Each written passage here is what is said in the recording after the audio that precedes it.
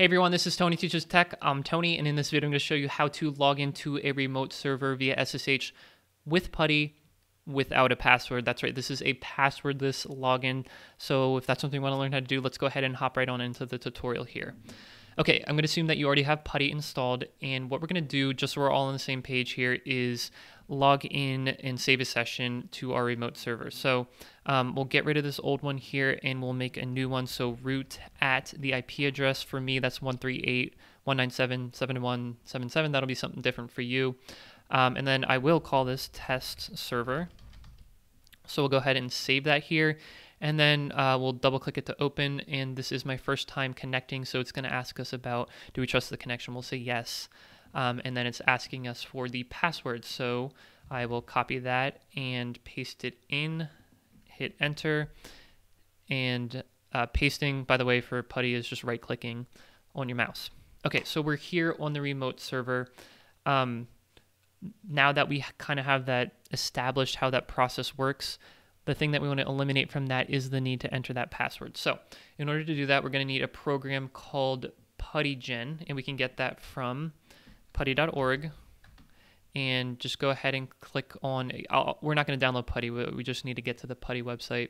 Um, in here, there is a program called PuTTYgen. You'll see that here, uh, puttygen.exe. So I'm going to grab the 64-bit version of that. And what I'm going to do is drag that onto my desktop here. Okay, so let's open up PuTTYgen and we'll bring that onto the screen here. We don't need this right now. So uh, what we want to do is generate that public private key pair, and that is going to enable us to basically log into the remote server without a password because we're going to give the public key to the remote server. So let's go ahead and go through that process. We'll click on the generate button here, and this is kind of cool because it says please generate some randomness by moving the mouse over the blank area. So the more you move your mouse, the more randomness you'll provide it. And with that, we have generated our public and private key pair. So um, this is the public key here. We'll use that in a little bit, but we also want to save our public and private key to our um, computer somewhere. So we can do that uh, by clicking on Save Public Key. I'm going to uh, not, not recommend it, but just for the sake of this tutorial, I'm going to save this to my desktop. So I'm going to call it um, ID underscore RSA dot pub, and that is the um, like a general convention for the name of these public keys. And I just want to double check. Yes, I did click on public key. So let's save that onto our desktop, and then we will save the private key as well. Um, if you want to add a passphrase, that's fine. But for the sake of this tutorial, I won't. Um, so it's asking, are you sure you want to save this key without a passphrase? That's fine. And then I'll call this one just ID underscore RSA without an extension. So we'll save that. And they popped up over here on my other screen. Uh, so I'll just bring those here so we can look at what we're looking at. So the contents of this file is essentially this. And then the private key is something that you never want to share with anybody. So um, I'm not going to show you what that looks like. Okay, so we have those now. On the server, in order to eliminate the need to enter a password, we basically have to copy the public key onto the server. So we can do that on the server here um, in the home directory, there's usually a file or a folder called ssh.ssh. And then in here, there is another file called authorized keys. So let's actually open that file. And I'm going to use the, the Vim text editor here um, to do that. You can use a different text editor if you need to, but uh, I'll, I'll, try to walk you through it if you're going to choose to use Vim. So right now, this file is empty.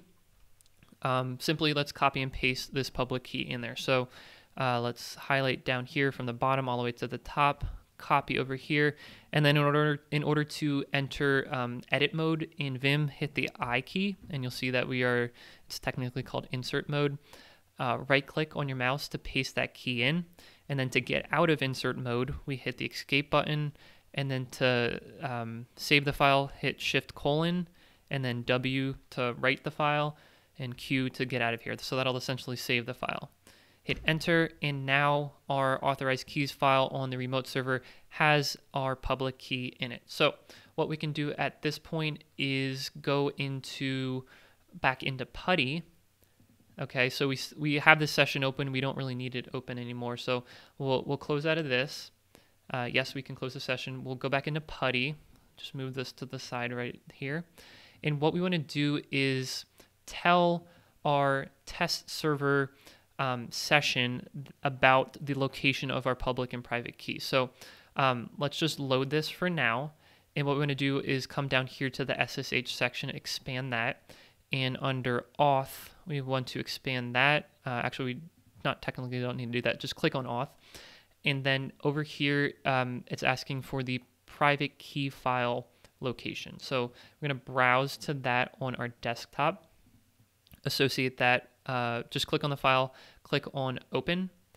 And what we're going to do is, and this is very important, come back to the session and with uh, just just to be extra sure with test server selected hit save okay and that's gonna if you don't do that extra step about saving the association with the private key with your session then the next time you open putty you're gonna have to remake that connection so just just hit save um, and now let's try to load it. Let's see if that'll work without entering a password. So let's double click on test server and it's doing its thing up here and no need to enter a password. It authenticated with the public private key pair and we are good to go because we are on the server now. So um, that is about it for passwordless login using putty if you have any questions let me know down in the comments below. I'll do my best to help you out. I want to thank you guys for watching. Please subscribe to my channel for more, more videos like this in the future. And if you do i'll see you in the next one